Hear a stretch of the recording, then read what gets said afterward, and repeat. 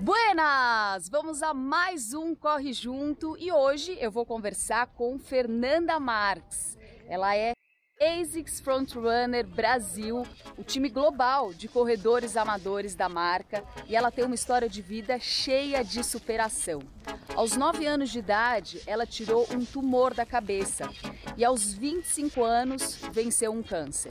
Ela usou a mesma estratégia aprendida em provas esportivas na batalha contra o câncer. Quer saber mais da história da Fernanda? Vem comigo, porque aqui o papo é em movimento.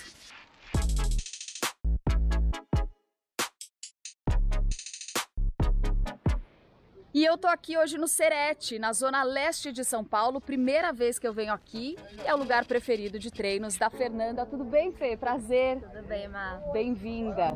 Igualmente aqui no Serete. Né? Vamos nessa então, vamos conversar em movimento. Com certeza. Correndo, beleza? Bora lá. Vamos nessa então. Vou marcar? Ah, eu vou marcar, Ah, porque então eu tenho uns lá. 30 minutinhos aí pra correr hoje, leve. O esporte sempre fez parte da sua vida. Qual é a sua primeira lembrança correndo? Olha, Má, minha primeira lembrança é aqui no Serete. Eu vinha, dava uma volta, no dia seguinte dava duas, e esse era meu desafio. Cada dia ia aumentando a distância. Talvez até por isso que eu curta tanto longa distância. E com relação à prova, é, minha primeira memória é minha tia me levando lá na USP fazer uma provinha de 5K. Eu senti aquela vibe, energia, a galera correndo, outras andando, cada uma na sua superação. A partir dali, nunca mais parei. E quando você começou a levar a corrida como um estilo de vida? Olha, eu lembro que eu tava no fim do fundamental, meus 13, 14 anos, mas já faz um tempinho. Agora você vai se desafiar nos 42 quilômetros. Vamos juntas! É só a primeira maratona, vamos juntas. Eu queria que você contasse como foi receber essa notícia para correr uma maratona em Paris. Olha, foi uma grande surpresa. Eu confesso que eu não esperava correr 42 km na vida, que está agora. Então, foi muito bom, assim. Fiquei super empolgada o desafio. Qual é a sua meta para essa prova? Ah, a meta é completar, completar os 42, curtindo cada quilômetro com um sorriso de ponta a O ponta. sorriso interno vai existir. Isso aí, a Boa. motivação. Fê, como a corrida te ajudou na batalha contra o câncer? A corrida foi meu norte. Eu, no momento do diagnóstico, a minha médica falou assim: ó, você não pode correr hoje, mas ano que vem você tá na São Silvestre. E aí eu peguei aquela meta pra mim e o tempo inteiro focada em ficar bem. Ficar bem pra aquela prova, pra continuar a viver fazendo o que eu gosto, que é correr.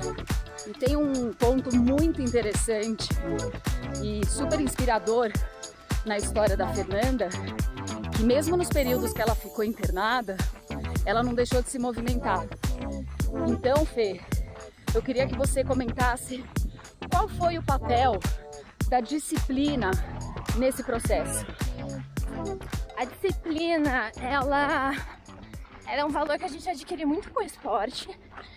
E sem dúvida, seja para um tratamento quimioterápico ou qualquer outro desafio na vida, eu acho que ela é o que mantém a gente com foco. E durante o tratamento foi bem isso. Eu não parei de me movimentar, tinha minhas limitações, é, fiquei muito tempo internada e o que eu tinha era 45 metros de um corredor. E eu ficava o tempo inteiro ali, caminhando, claro. Tinha dias e dias, eu podia não estar tão bem, é, que o tratamento de câncer é muito pesado, mas a disciplina me fez ter isso. Não desistir e ir atrás de ficar bem. E seja em movimento, seja em alimentação, tudo isso que, que engloba o vou ficar bem depois. Qual o maior ensinamento que a corrida te trouxe? Disciplina, a gente falou tanto disso e é o que eu carrego de mais importante, assim, que a corrida me ensinou, ter foco.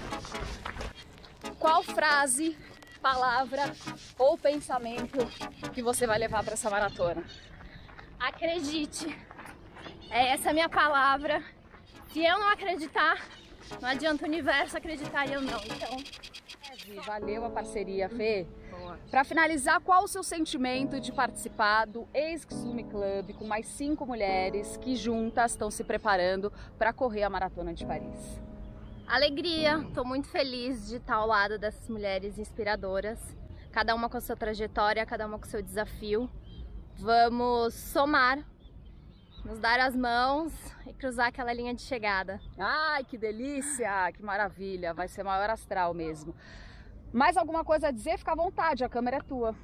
Só agradecer, fazer um convite para todo mundo, que cada um encontre a sua motivação, a sua atividade física, é, porque mover ilumina. Perfeito, valeu galera, é isso, mover ilumina.